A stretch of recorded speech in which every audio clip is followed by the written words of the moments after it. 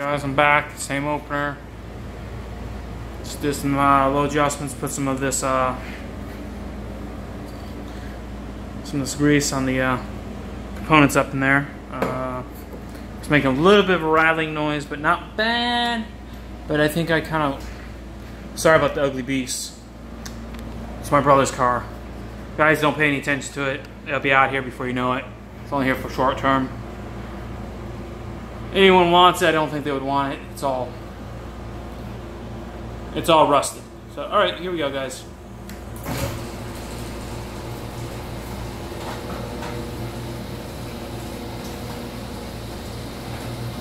Sorry, guys. Car. All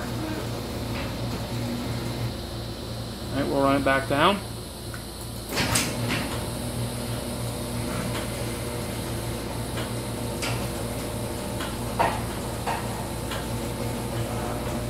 Pretty quiet, huh? I say so. Uh, that opener don't. The jack shaft don't really like it when I run it with this, but it's not gonna hurt. It's disconnected. It just does a lot of clicking. You know, the newer ones just do that.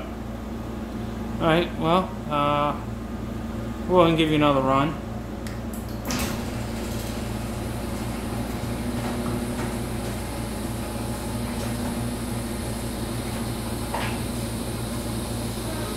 Sorry, guys. Gotta look at the ceiling for a minute. Don't want to give everyone my plate number.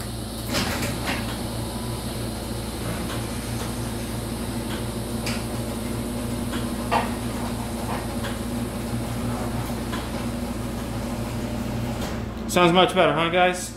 Oh, there's something else I wanted to show you. Someone else on YouTube told me about this component. Uh, I don't know who it is. But he had an old opener like this he was using permanently, and the old receivers didn't work. So I was able to bypass using the brown box, which I showed in my last video. So this thing you just hook up. It's very simple to hook up, guys. It's not that hard. Uh, if you get one, be sure you change the battery in the remote, because if you don't, you're gonna think the thing doesn't work. So change the battery remote. Don't give one. Go get a new one. I don't care. You know, it's only like 12 bucks, but it'll save you headaches in the long run. So, but yeah, no, I don't need that brown box I was telling you about last time. You guys seen that, guys? This thing. I can bypass this, and I don't need it because I got that receiver in the ceiling there, so this bypasses this. So I won't need this anymore. I'll keep it just because it's original. Uh, so you're able to modernize your garage door opener, this thing. So it will still work today. It's got to be plugged in the receptacle, obviously. So if you were to keep the opener and use it as a permanent opener, you have to run two wires off it. You have to run one for that, and then you have to tap off the same same ports and run a wire over to the door to the door of the garage from the house. But this thing I'm not leaving up because it's not staying with the house. I have it up here for videos for my uh, YouTube channel. But I wanted to show you this uh, this neat little item I got. Uh, hang on, I'll be right back. Let me go get the uh, let me go get the box. Hang on, guys. I'm pushing buttons. Hang on. All right, guys. There you go. Here's the. Uh, here's what you want if you're gonna modernize your overhead model 100 series. Well, 100A opener. This is what you want. This is compatible with it.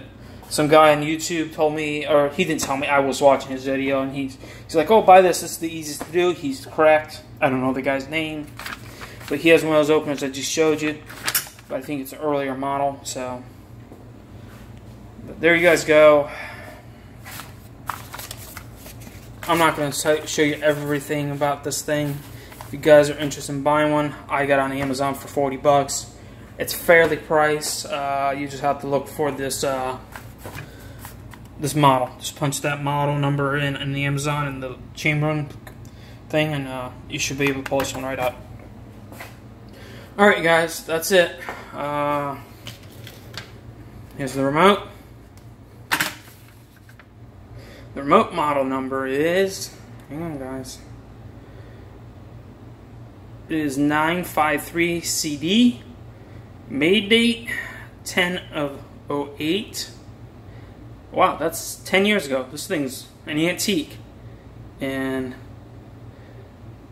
the F's, I don't know. I, I don't know, guys. Hang on. Well, whatever. But the uh, the bottom one, uh, the HBW one five seven three. I don't know. That's a frequency code, I guess. I don't know. But there's the uh, there's the other one with the same numbers on the top there, right above my phone or below my pointer. The one five seven three, and then there's the date. So, all right, guys, this is what the remote looks like. Nothing special. So, there you go, guys. Interested in getting one? Just go to Amazon, buy it. Like I said, they're only 40 bucks. Have a good one, guys. Over now. Bye.